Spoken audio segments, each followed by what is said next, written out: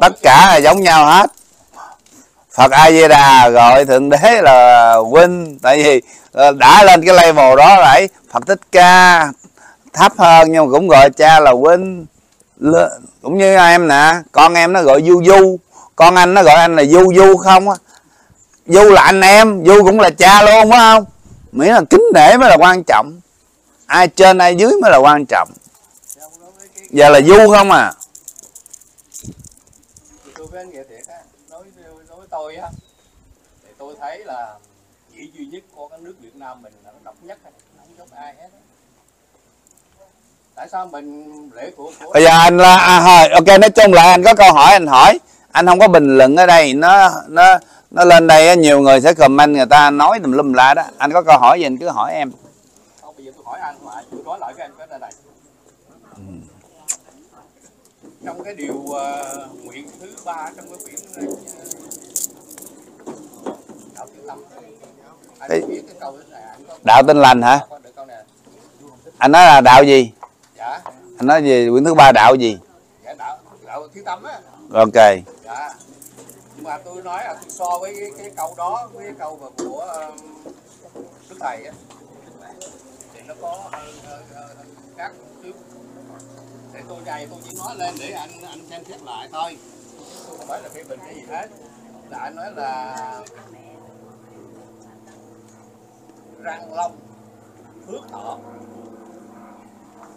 nhưng mà trong cái cái cái cái cái cái, cái, ờ, đức thầy á thì nó tăng long phước thọ tăng lên tăng long phước thọ chỉ có phước phước đức và cái thọ mạng được tăng lên chứ không phải là răng long răng là đúng. Đó là dĩ nhiên là đức thầy đúng bây giờ tôi qua đây Mỹ 14 mà tôi làm ra 12 tôi nhận điển tôi viết ra 12 giới luật.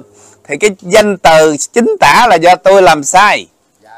Thì, thì là tăng long. Cho nên ờ, đứa nào về sửa đó lại tăng long.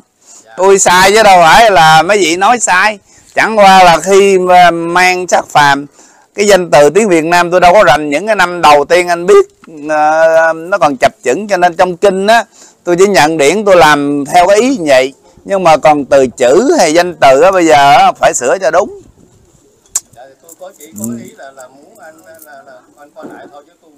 Ok rồi tăng long tăng long nha bà con. Dạ. Tăng long phước thọ. Dạ. tăng long phước thọ. Thọ. Rồi tăng long phước thọ. Trời ơi, tôi nói sai nhiều lắm. Anh mà nó bắt bẻ chắc tới sáng luôn á.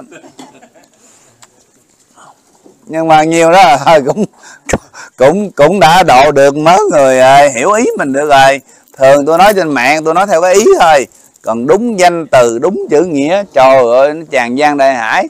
Tôi đâu có được mấy cái à, à, người giống như uh, uh, dư luận viên hay là phóng viên hay là những cái nhà truyền thông mà được huấn luyện chuyên nghiệp đâu. Bây giờ cái điện thoại bữa nay còn không có mang microphone. Không biết bà con có cầm lên để mà nói mình nói nhỏ không nữa. Đúng ra mà mình mà mà ấy là phải mình mà muốn mà làm cho hoàn chỉnh á, phải có cái ban bệ làm truyền thông này. Nhưng mà thật sự tất cả ngồi nói chuyện cũng là điển nói, điển mà cúp cũng không nói. Rồi từ đầu cũng vậy, một mình lên mạng cũng là điển. Tức là còn ở dưới này quọt quẹt được gì quọt quẹt. Còn nếu mình làm bài bản quá đó, của đời rồi.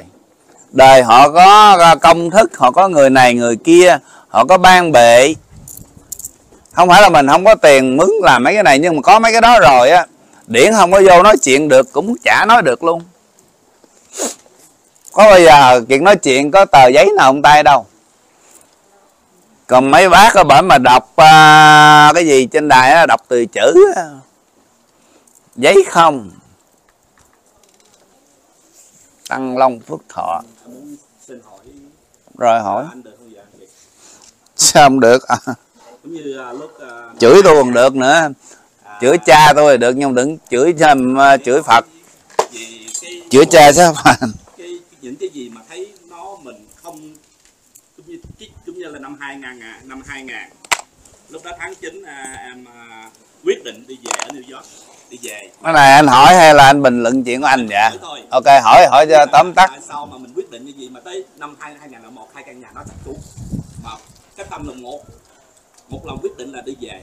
Cái ý là như thế nào?